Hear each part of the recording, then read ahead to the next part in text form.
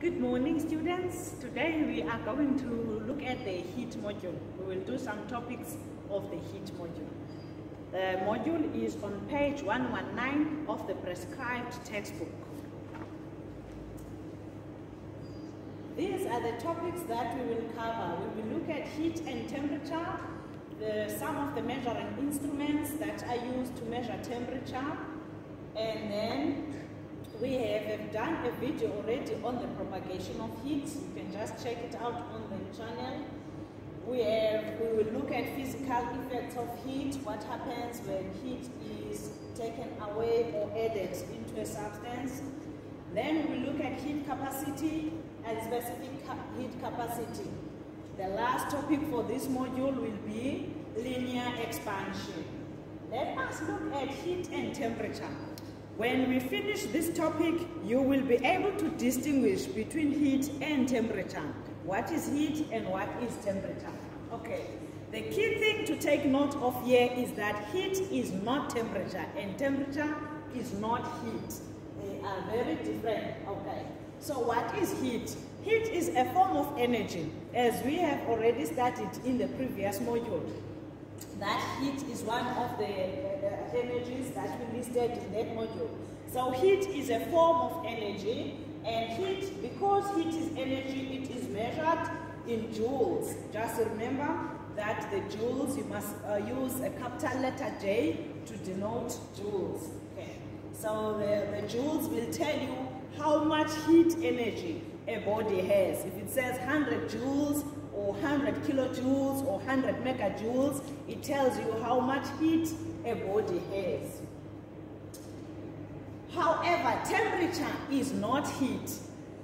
What temperature is, it's basically the indication of the degree of heat. It indicates the degree of heat. Now, science tells us that all matter contains a certain amount of heat in it.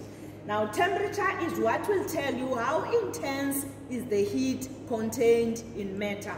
It indicates the heat intensity of the body. It's basically the hotness or the coldness of the body. But temperature is not heat. So temperature does not tell you how much heat a body has. But it tells you on that heat that a body has, how intense is it? Okay, so we've already established, established that science says that all matter contains a certain amount of it. And the best example to explain that would be if you look at ice cubes and the tap water. The reason we put ice cubes into the tap water is to cool the tap water down.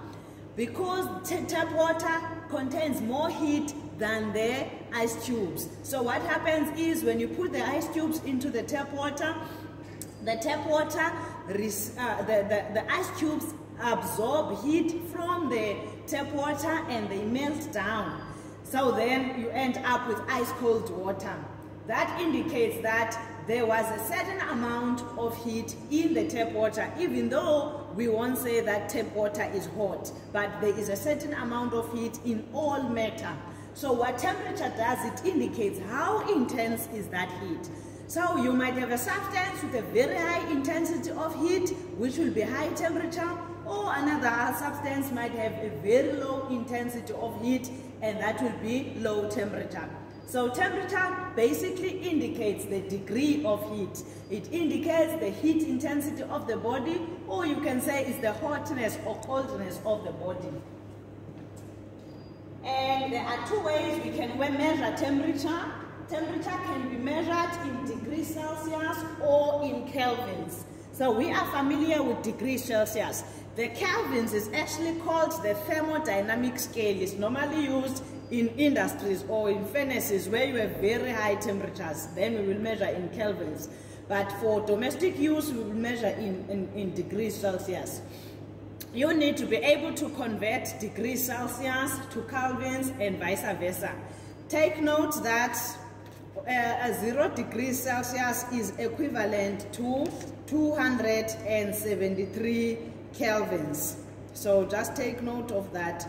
And that is illustrated on page 124, figure 5.10. That the degrees Celsius uh, 0 degrees Celsius is equivalent to 273 kelvins.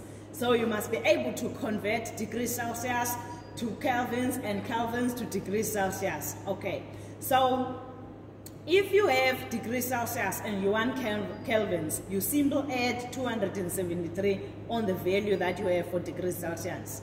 And if you want kelvins, you have degrees Celsius, you simply subtract 273 from the kelvins. Then it, become, it, be, it, be, it becomes degrees, it becomes kelvins.